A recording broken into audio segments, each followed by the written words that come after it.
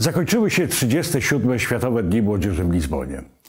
W sumie wzięło w nich udział 1,5 miliona młodych ze 190 krajów świata, którzy przybyli ze swoimi duszpasterzami i wychowawcami do Portugalii.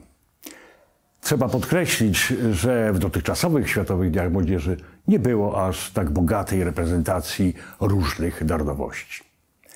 Młodzi witali Ojca Świętego z autentycznym entuzjazmem, co bez wątpienia wpływało na niego. Papież wydawał się odmłodzony i ożywiony, wręcz zaraźliwym entuzjazmem dziewcząt i chłopców. Jak sam zaznaczył, skracanie wcześniej przygotowanych homilii i przemówień wynikało z pragnienia, aby były jak najbardziej przejrzyste i komunikatywne. Zwrócił uwagę, że młodzi ludzie nie lubią długich przemówień. Homilia powinna być krótka, jasna, z wyraźnym przesłaniem i czuła. Kościół ma miejsce dla każdego, każdego, każdego, każdego, a nie tylko dla wybranych, wołał dobitnie Franciszek. W sumie słowa te mogą stanowić syntezę pierwszych dziesięciu lat jego pontyfikatu. Pontyfikatu, który rozpoczął się pod znakiem miłosierdzia.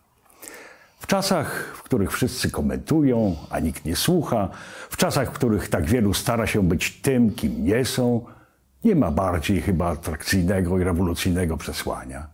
Ktoś kocha nas takimi, jakimi jesteśmy. Zawsze nam przebacza, czeka na nas z otwartymi ramionami, idzie przed nami, chcąc obdarzyć nas miłosierdziem.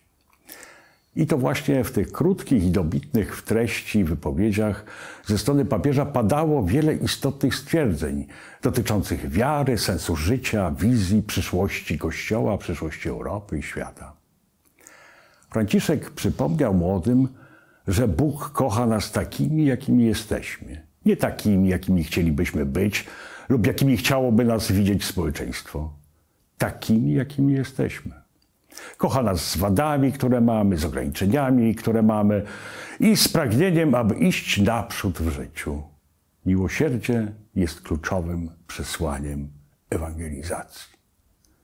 Młodzi ludzie dali się bez wątpienia papieżowi ponieść w imię przesłania na zakończenie Światowych Dni Młodzieży w Lizbonie, aby byli świadkami radości, wiary, nadziei, która rozgrzewa serca, miłości, którą wnoszą бывшист.